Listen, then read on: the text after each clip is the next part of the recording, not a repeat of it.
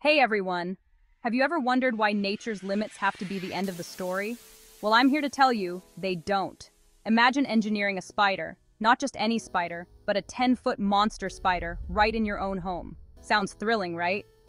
In the fascinating world of technological innovation and biological wonders, spiders usually peak at a few inches. But what if I told you we could break these natural barriers, using the latest in genetic and technological advancements? This isn't just science fiction, it's a real possibility. With tools like CRISPR for genetic editing and cutting-edge materials science, we can literally craft our own gigantic arachnids. Why do this, you ask? Because it pushes the boundaries of what's possible.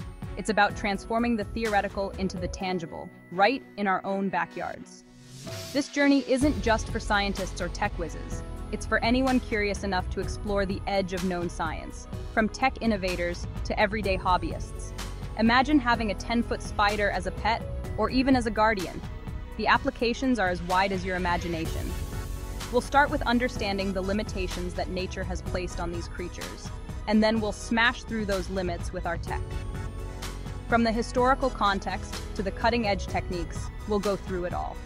So, are you ready to join me on this audacious adventure? To not just dream about the future, but to build it? Stay tuned because we're about to take the first step together into a world where size is no longer a limit.